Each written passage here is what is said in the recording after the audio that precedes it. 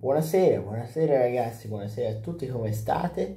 Spero bene, come insomma anche le nostre squadre italiane che ieri hanno vinto due belle partite, l'Inter di sofferenza, di cuore contro il Barcellona 1-0,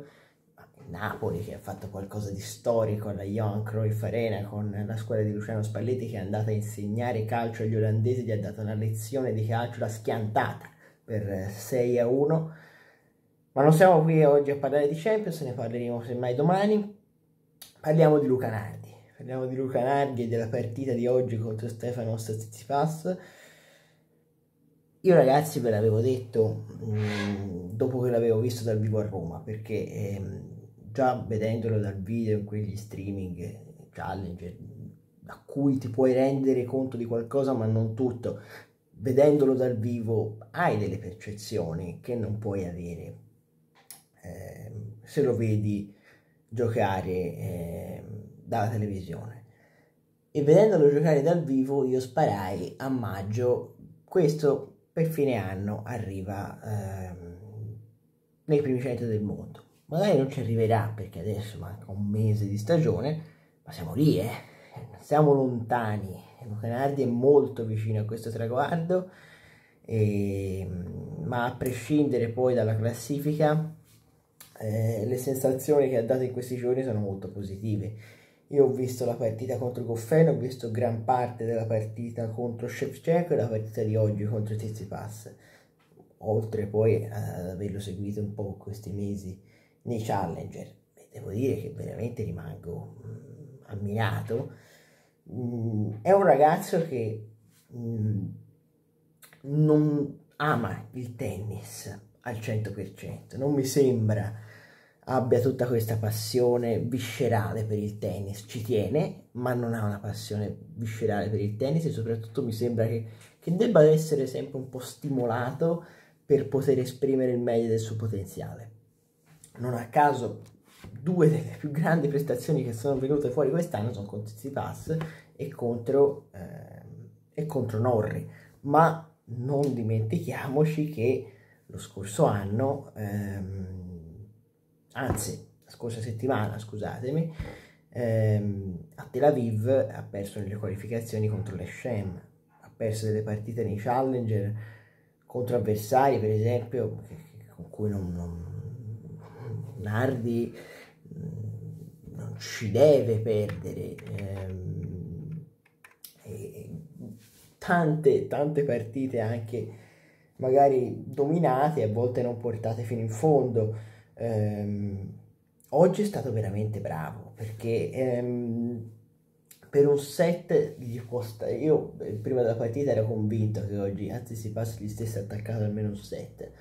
Ehm, però non immaginavo l'atteggiamento che, che, ha tenuto per tutto il secondo set. Perché poi una cosa appunto è fare un set dove stai attaccato al livello del tuo avversario, dove stai sempre vicino, stai a contatto del tuo avversario, un set in cui servi particolarmente bene, un set in cui fai delle belle cose, in cui sei difficile da breccare, però Nardi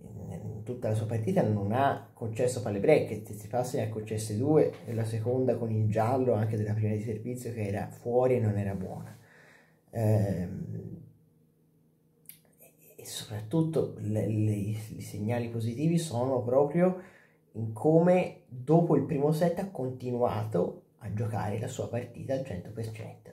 perché un ragazzo della sua età, ma in tanti, dopo un primo set perso in maniera così combattuta, ehm, scioglie... Ecco i risultati più rilevanti. Scusatemi, era a parte Google, scioglie... Ok, scusate. Ho trovato questo sul web. Scusatemi, eh. eh ora, ora, dovrebbe essersene andato, non, non, dico più la parola perché sennò riparte un'altra volta. Comunque ragazzi, ehm, uno che gioca un primo set del genere, di solito nel secondo set scioglie. Il primo set tirato, nel secondo set la partita poi, mh, mm, diciamo... Va in discesa, l'inerzia passa dalla parte del giocatore più forte che ha vinto anche un primo set tirato E invece Nardi nel secondo set, servendo anche peraltro per il secondo, è rimasto lì attaccato. È rimasto lì attaccato al suo avversario e gli ha fatto sudare ogni punto fino alla fine. Eh, recuperando anche turni di servizio da, da 0,15, da 15,30, non concedendo mai appunto una palla break. Le chance le ha avute lui sul 5 pari per andare a servire per portare la partita al terzo. Poi ancora qualcosa sulla tenuta fisica si può rivedere perché per esempio anche la partita con Goffene l'ha vinta con i due tiebreak giocati in maniera mirabile, vinta al terzo con lui che, che già accusa i crampi sul 5 pari al terzo. Ehm,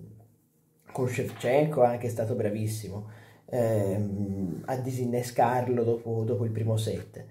si può rivedere qualcosa sulla tenuta fisica, si può rivedere qualcosa a volte anche sulla tenuta mentale, proprio su questo, su questo ragazzo, anche proprio perché tante volte serve uno stimolo per attivarlo e certe partite non, non le gioca al 100%, non le gioca, non le gioca al top, non le gioca come, come dovrebbe, dovrebbe fare. È anche normale per la sua età, però è un atteggiamento che va rivisto, cioè un po' alla Fognini da questo punto di vista, cioè quando parte sfavorito mh, mm, gioca le sue migliori partite, quando parte favorito fa fatica. È qualcosa sicuramente da migliorare, eh, però il talento eh, mi sembra evidente, cioè la disinvoltura con cui eh, gioca tutti i colpi, la completezza che ha nel suo repertorio, dritto e rovescio, indistintamente, forse concede qualcosa di più col dritto e rovescio è veramente fluido. Eh, magari non ha ancora una soluzione vincente, non ha un colpo che eccelle, però ha un'ottima mano, gioca molto bene nei pressi della rete, la palla corta la esegue il più delle volte bene. Eh, il servizio è ottimo, in risposta può migliorare, nella reattività, nella profondità, a volte è un po' troppo conservativo, per esempio anche sulla palla break, poi nel secondo set poteva avere un pochino più di coraggio in risposte, tante risposte che sulla seconda di Tizi Pass poteva giocarle meglio. Però ragazzi, stiamo parlando di un ragazzo appunto ancora molto giovane, che sta maturando, ma secondo me appunto proprio come talento, io ve lo dissi a maggio, nel tennis italiano, è uno dei, dei, migliori, dei migliori, talenti che, che abbiamo, ehm, proprio a livello di, tennis, di base da cui si parte. Poi nel tennis agiscono tanti fattori, però già se hai una grande base, una grande partenza, una grande tecnica di base, si può intervenire già su un materiale diverso da, da, da, un giocatore che magari invece si deve, deve costruire certe soluzioni. E, e, devo dire che veramente, ehm, veramente Nardi da questo punto di vista è tanta roba. Mi piace poi il suo atteggiamento in campo, è sempre molto mh, tranquillo, flemmatico direi quasi, non si arrabbia mai, mai una parola di trao, troppo, mai una piega sin troppo piatto, però io preferisco uno piatto come lui, nel senso anche freddo, cioè, eh, che non esprime troppe, troppe sensazioni anche, oppure non, non, ha degli atteggiamenti altisonanti durante le partite, urlacci, pugnetti continui, anche, anche ragazzi, parentesi, ma vogliamo parlare di Sinner che ormai dopo tutti i punti, sto pugnetto, sto pugnetto, prima non, non faceva mezzo pugnetto, eh, tutti, dopo tutti i punti sto pugnetto è pure una cosa falsa, perché se lo fai dopo tutti i punti, eh, che, che, che cosa ti carichi se stai sotto 5 a 1, 15 a 0 e fai il pugnetto e hai fatto il punto di 15 a 0 sei sotto 5 a 1? Eh, non serve a niente